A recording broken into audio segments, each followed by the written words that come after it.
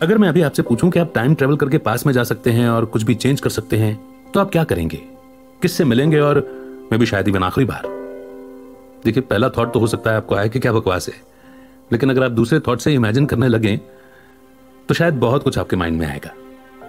और हो सकता है कि आपका माइंड ब्लैंक भी हो गया हो। वेल आपका तो पता नहीं, लेकिन आज जो ऑडियो बुक समरी मैं आपके बीच में लेकर के आया हूँ, उसमें हम सुनेंगे कुछ यूनिक स्टोरीज एक ऐसे कैफ़े की, जो अपने कस्टमर्स को एक यूनिक ऑप्शन देता है पास में जाने का मगर कंडीशन यह है कि कॉफ़ी ठंडी होने से पहले उन्हें वापस भी आना होगा। वरना उसके कुछ कॉन्सिक्वेंसेज भी हो सकते हैं, यानी कि कुछ अच्छे और बुरे परिणाम भी हो सकते हैं। आज की बुक समरी है before the coffee gets cold और इस ऑडियो बुक में हम उन कस्टमर्स की स्टोरी सुनेंगे जो पास्ट में जाते हैं, यानी कि टाइम ट्रेवल करते हैं। आई एम डैम श्योर कि आप इन स्टोरीज को सुनने के लिए एक्साइटेड होंगे। तो आइए शुरू करते हैं। तोशी काजा कावागुची की book before the coffee gets cold और पहली स्टोरी है लवर्स दुनिया में बहुत सारे कैफ़े हैं, पर यह कैफ़े थोड़ा सा अलग था। थोड़ा नहीं, काफ़ी अलग था। वैसे तो वहाँ बिल्कुल पुराना आर्किटेक्चर था। बहुत छोटी सी जगह थी। इतनी छोटी कि अगर आप किसी से बात करो तो आसपास के लोग न चाहते हुए भी आपको सुन लेते। काउंटर के पास तीन कुर्सियाँ लगी थी, और उसके सिवा तीन और टेबल थी। कुल मिलाकर इस कैफ़े में नौ से ज़्यादा लोगों के बैठने की जगह नहीं थी। पर इस कैफ़े की कुछ तो अनोखी बात थी। एक लड़की इस कैफ़े में बैठी थी। बाल उसके सुनहरे थे और वो व्हाइट ड्रेस पहने हुई थी। जब भी देखो तो वो एक ही कुर्सी पर बैठी किताब पढ़ती रहती थी। कोई भी कस्टमर उस पर ज़्यादा ध्यान नहीं देता था। फिर एक दिन एक लड़की दौड़ती हुई कैफ़े में चली आई और चिल्लाने लगी कि वो पास में वापस जाना चाहती है, वो पास में वापस जाना चाहती है। अब ये सुनकर कोई भी कहेगा कि ये लड़की पागल हो चुकी है। पर कैफ़े की वेट्रेस काजू, तोकेता बिल्कुल हैरान नहीं हुई। इनफैक्ट वो इस चिल्लाती हुई लड़की फूमिको की बातें सुनने लगी। फूमिको बहुत स्मार्ट लड़की थी। उसे छह अलग अलग भाषाएँ आती थी। और उसका पूरा फोकस अपने करियर पर था। वो सिर्फ़ सूट पहना करती थी और अपने काम से काम रखती थी। पर फिर उसकी मुलाकात एक लड़के से हुई जिसका नाम गोरो कटादा था। गोरो एक सिस्टम इंजीनियर था और वो दोनों एक ही प्रोजेक्ट पर काम कर रहे थे, जहाँ उनकी मुलाकात हुई थी। फुमिको गोरो से बहुत ज़्यादा इंप्रेस थी और दोनों जल्दी ही डेट करने लगे। गोरो को गेम्स बनाने का शौक था और उसका सपना था कि वो किसी बड़ी कंपनी में काम करने लग जाए। एक दिन अचानक गोरो ने फुमिको से कहा कि वो उससे मिलना चाहता है। कोई इंपॉर्टेंट बात करने के लिए। फुमिको जो हमेशा सूट पहना करती थी, एक ड्रेस खरीद कर लाई। उसे लगा कि शायद गोरो उसे शादी के लिए प्रपोज करने वाला है। वो तैयार होकर चली गई। वो दोनों एक हफ़्ते पहले इसी कैफ़े में मिले थे, बात करने के लिए। आज बात करते करते उसे पता चला कि गोरो उसे कहना चाह रहा था कि उसकी जॉब लग गई है और वो अमेरिका जाना चाहता है। फूमिको बहुत दुखी हुई, पर उसने उसे रुकने को नहीं कहा। उसके अंदर कई बातें थी जो उसने दबाई हुई थी। उसके मुँह से अंत में बस इतने शब्द निकल पाए कि वो गोरो को अपने फ्यूचर के लिए बेस्ट ऑफ़ लक कह सके। एक हफ़्ते तक सोच सोच कर फूमिको को एहसास हुआ कि वो गोरो से अपने दिल की बात कहना चाहती है। उसने कहीं तो सुना था कि इस कैफ़े में इंसान टाइम ट्रेवल कर सकता है, पर उसने कभी इस बात को सीरियसली नहीं लिया था। ऐसा कभी हो सकता है क्या? पर आज फूमिको बहुत डेस्परेट थी। उसे फ़र्क नहीं पड़ता कि ये कितनी बकवास बात है। उसे बस एक बार गोरो से फिर मिलना था। वेट्रेस काजू ने उसे बताया कि बेशक ये मुमकिन है, पर इसके कुछ रूल्स भी हैं। पहला रूल, वो अपने पास में जाकर अपने प्रेजेंट को चेंज नहीं कर सकती थी। यह सुनकर फोमे को भड़क गई। क्या मतलब? प्रेजेंट को चेंज नहीं कर सकती?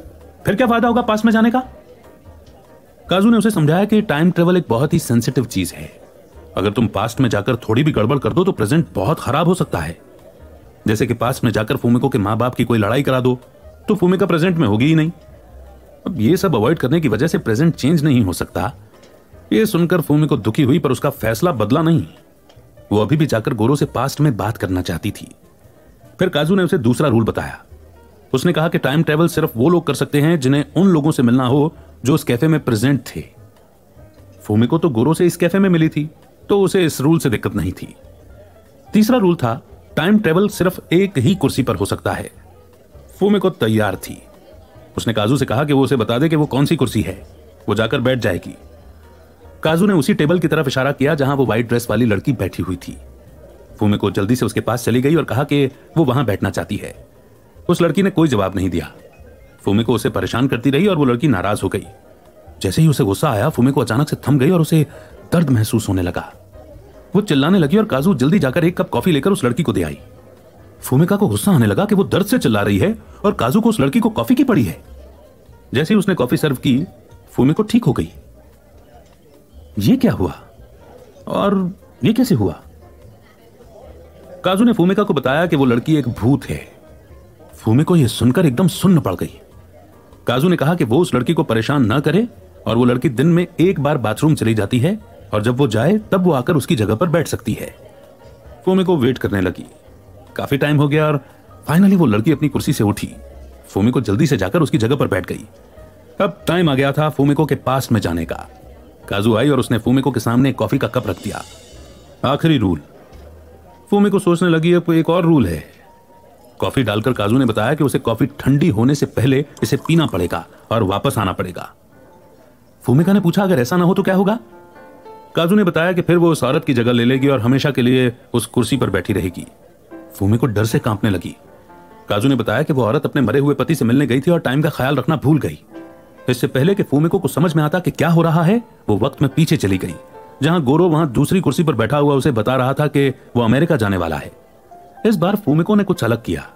उसने पूरी हिम्मत की गोरो को बताने की कि वो कैसा महसूस करती है, और हैरानी की बात यह है कि गोरो ने उसे ऐसी बातें बताई जो वो उसे कभी नहीं कहता था। उसने कहा कि उसने हमेशा सोचा है कि फूमिको उसके लिए काफ़ी अच्छी है, और वो एक दिन उसे छोड़ देगी। पर फूमिको तो इस कदर तक रिलेशनशिप में इंटरेस्टेड थी कि वो गोरो से शादी करने का सोच रही थी। अपने दिल की बात करके गोरो ने फूमिको को बताया कि वो उसका तीन साल इंतज़ार करे। फूमिको ने जल्द से जल्द कॉफ़ी खत्म कर ली थी। गोरो ने कहा कि जब वो वापस आएगा, अभी उसने बात पूरी भी नहीं की थी कि उसकी आवाज़ धीमी हो गई और बिल्कुल सन्नाटा छा गया। फूमिको वापस कैफ़े में आ चुकी थी। वो औरत बाथरूम से वापस आई और फूमिको से कहा कि वो उसकी सीट है। फूमिको वहाँ से उठ गई और उसके दिल को काफ़ी सुकून मिला। उसे समझ में आया कि बातें दिल में रखकर उसने कितनी बड़ी गलती की थी। शुक्रगुजार होकर वो पे करने निकलने लगी। वाइट ड्रेस वाली औरत मुस्कुराने लगी और जो किताब वो पढ़ रही थी उसे बंद करने लगी। नॉवेल का टाइटल अब दिखने लगा था। बड़े अक्षरों में उस पर लिखा हुआ था लवर्स